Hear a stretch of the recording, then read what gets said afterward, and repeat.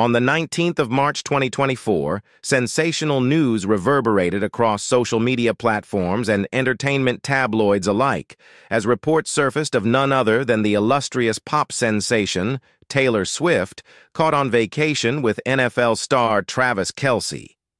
The duo's unexpected rendezvous occurred on a secluded private island, igniting a frenzy of speculation and intrigue among fans and media outlets worldwide.